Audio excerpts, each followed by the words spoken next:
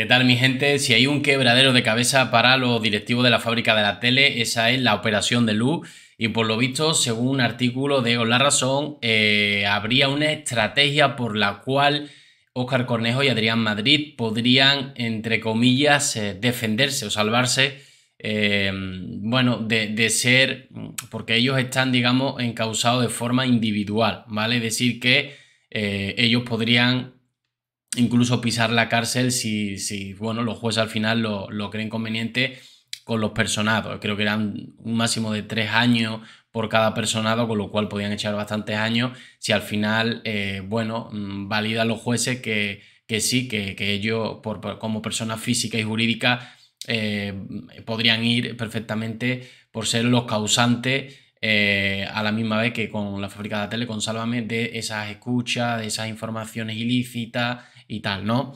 Bueno, pues según comenta este artículo que vamos a leer ahora, eh, tendrían una estrategia para intentarse librar de la operación de luz. Vamos a ver de qué se trata porque a estas alturas, eh, no sé, que puedan librarse me parece extraño, ¿no? Pero bueno, vamos a ver qué dice. Los jefes de la fábrica de la tele aseguran que no participaban de forma eh, directa en el funcionamiento de Sálvame, pero yo creo que eso no les exime, ¿vale? Una cosa, una cosa es que eso sucediera no sé, dos, tres, cuatro días y tú eh, seas ajeno a ello y otra cosa es que eh, eso se haya hecho durante varios años y tú te hagas el loco, como que no sabes nada. O sea, yo es que eso no me lo creo. Todo tiene que pasar por ellos, ¿no? De hecho, mm, había gente del programa no famosa, redactores y tal, eh, que, bueno, ya lo vimos en su momento, hace varios meses, ¿no? Que preguntaban directamente a Gustavo, oye, mm, preguntan si hoy traes algo para, para Sálvame, ¿no? Algo potente para Sálvame. O tráete algo sobre Kiko Rivera, por ejemplo. O tráete algo sobre no sé quién. Y es que mm, incluso le pedían, por, por según qué famoso estaba de actualidad, sácame la porquería que tenga de no sé quién. Entonces, lo que os digo, eh, esto, que sea ajeno a Oscar Madrid y Adrián Cornejo, a mí me resulta extraño, ¿eh? Bueno, nuevo giro en la llamada Operación de Luz, una investigación policial sobre la filtración de información confidencial relativa a varios rostros conocidos y su posterior publicación en programas como Sálvame. Adrián Madrid y Oscar Cornejo están siendo investigados como jefes de la fábrica de la tele, pero su abogado acaba de solicitar que se les eh, desvincule de los presuntos hechos delictivos que se imputan empezando por el cohecho, ¿vale? Eh, bueno, eso es lo que está solicitando los abogados de ellos. Otra cosa es que le digan que sí, ¿vale? Bueno, un escrito dirigido al juez de instrucción número 4 de Madrid, al que ha tenido acceso el portal Blooper, eh, el letrado lamenta eh, que lo que en principio fue un procedimiento que se instruyó con discreción se ha terminado convirtiendo en pasto de publicaciones sensacionalistas verdaderamente lesivas para todos los que de un modo u otro se encuentran eh, concernidos por el desarrollo de las actuaciones. Publicaciones sensacionalistas no, estamos hablando de lo que hay. Lo que pasa es que es tan fuerte lo que ha sucedido eh, que parece que, estamos aquí haciendo sensacionalismo. No, no, aquí estamos hablando de lo que hay. Eh, se ha hecho eh, algo ilícito, se ha, cogido una información ilegal, tanto de informes policiales como incluso médicos, de índole privado, y se han hecho públicos por la cara. ¿Dónde está el sensacionalismo? Es que las cosas son como son, ¿no? Aquí no hay tu tía. Bueno, además en el documento se pone en el foco, eh, pone el foco en la escasa eh, participación mm, que Adrián Madrid y Oscar Cornejo tenían en Sálvame, a pesar de ser los jefes de la productora, bajo la que desarrolla el formato, no tenían ninguna intervención o por mejor, eh, o por decir mejor, una participación muy limitada. Entre otros motivos, aunque suene prosaico, porque tenían otras muchas cosas que hacer y el programa no exigía ni mucho menos su constante presencia y directa participación. Independientemente de eso, estoy seguro mm, que si un redactor está pidiendo información, eh, es, esa información que está pidiendo un redactor directamente a Gustavo eh, González, que ya está aprobado eso, esos WhatsApp y tal, me imagino que, me imagino no, Valdepera lo sabría, Oscar Cabezón lo sabría, eh, y evidentemente mm, son tantos y tantos programas y tantos, tantos meses y tantos, tantos años que al final estoy seguro que Adrián Madrid y Oscar Cornejo sabrían de esto y por más que ellos digan, no, yo es que delegaba, yo delegaba en ellos, eh, no sabíamos lo que estaban haciendo, me lavo las manos, ¿no?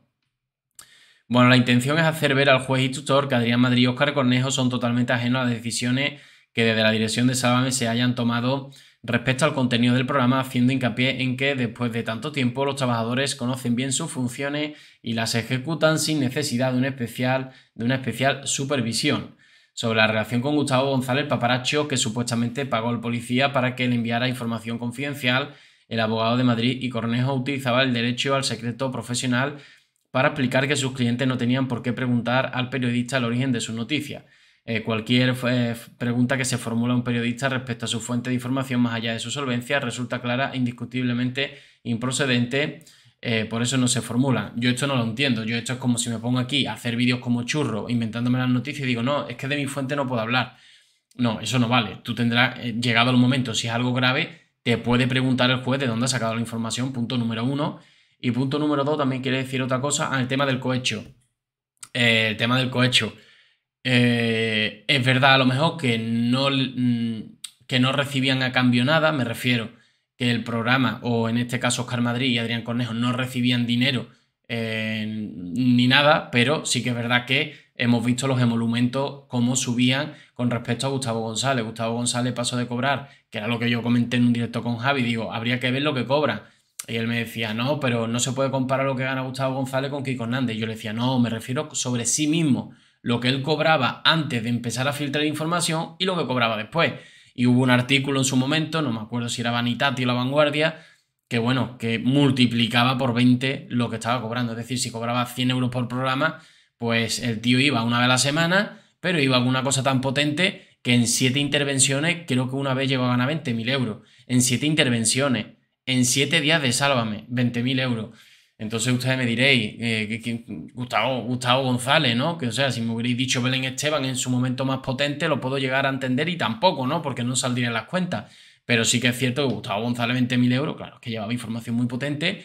Y esos siete días eran siete días de noticias potentes eh, que no valían para un día, que valían para el siguiente, el siguiente y el siguiente. Y encadenaba tres o cuatro días hablando de lo mismo, eh, manipulando y, y un poquito la información, ¿no?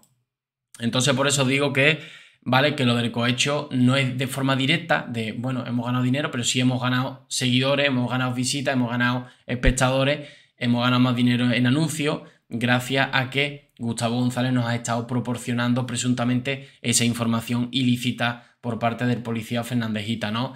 Entonces, más o menos, como veo yo aquí un poco la situación. Yo creo que va a ser complicado que ellos eh, sean ajenos a todo. Insisto, si hubieran sido tres o cuatro programas, a lo mejor se salvan pero tantos años y ustedes no saber nada, Adrián Madrid y, Oscar Cornejo, es, vamos, prácticamente imposible, por mucho que deleguen. Evidentemente ellos no están allí todos los días y eso se sabe, pero mm, hasta tal punto de que no supieran y no fueran conscientes y no hayan permitido que esto se, estuviera haciendo, yo no me lo creo, pero evidentemente ahí tienen que estar los, abogados y los, y los, jueces para que hablen y dictaminen lo que sea, pero lo iremos viendo. Yo dudo mucho que se vayan a librar.